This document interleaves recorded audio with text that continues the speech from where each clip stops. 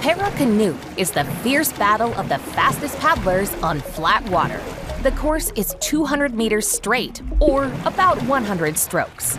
Our strength, technique, and determination propel us to the finish line. At the Paralympics, we compete individually in one of two types of para canoe boats kayak or va'a. Kayak is the faster discipline. Athletes race with a double blade paddle, whereas va'as have an outrigger attached to one side of the boat to help balance. Here, athletes use a single blade paddle.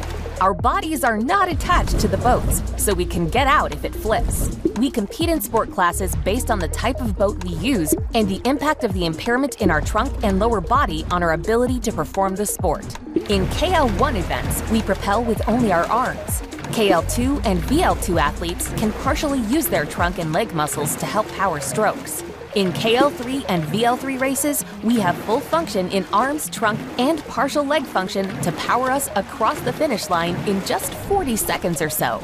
Watch us race across 10 medal events at the Paris 2024 Paralympic Games.